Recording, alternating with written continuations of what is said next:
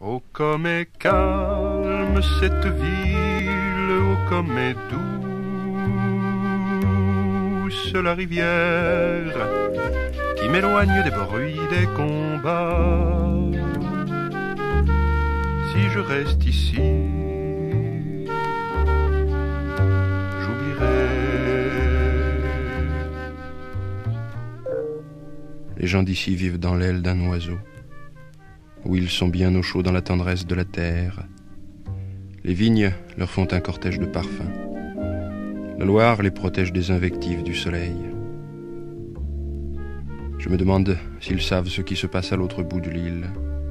Pour avoir des nouvelles, ils n'ont que la télévision. Du monde leur viennent assourdis des bruits de lutte.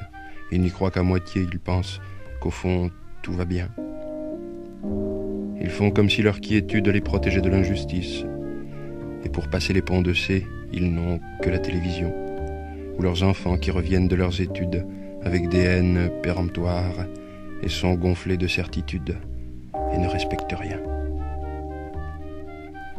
Il y a des routes interminables dans les Mauges où personne ne va jamais. Ailleurs, on fait un monde plus inhumain qu'il ne fut dans aucun siècle. Ici, on se protège derrière cette honnêteté qu'on n'a jamais trahie. Et les gens de la télévision le savent, qui se gardent de dramatiser l'information. On rêve.